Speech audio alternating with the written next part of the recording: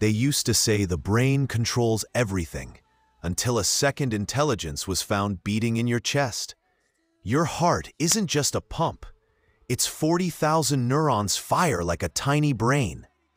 They store emotional patterns, but they also react before your brain notices.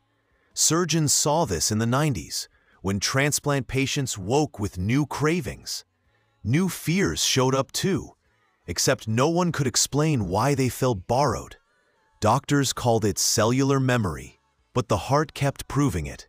It sends more signals upward than your brain sends back, until emotion overrides logic. That's why unease hits your chest first, not your thoughts. Your heart reacts instantly, but your mind scrambles to interpret the alarm. Two intelligences run you, one deliberate, one instinctive. One thinks, but the other remembers.